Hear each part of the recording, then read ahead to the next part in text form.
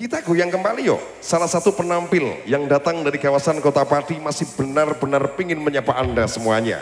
Kita simak penampilan dari siapa dia kalau bukan ada Nila Racing bareng GS Music memang asik. Terima kasih.